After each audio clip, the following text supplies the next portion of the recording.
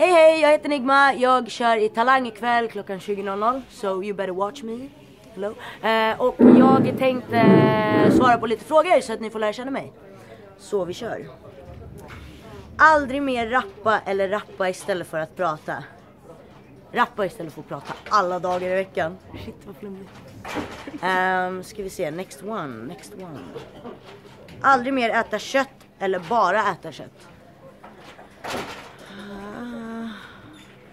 Alltså får jag inte... Det är en, eh, alltså om jag får äta kött och potatis så äter jag bara kött. Men nej men det är ju bara kött, jag gillar kött. Eh, förlåt alla veganer. Förlåt. Pizza eller hamburgare? Eh, vi kör... Pizza går alltid hem. Pizza, pizza, pizza. Vad är det här? Ett litet påskägg. Chips eller godis? Chips.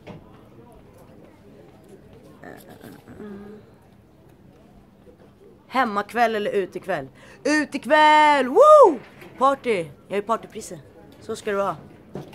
Det var allt för den här gången och det var allt för mig. Och vi ses ikväll hoppas jag klockan 20.00 i TV4. Peace!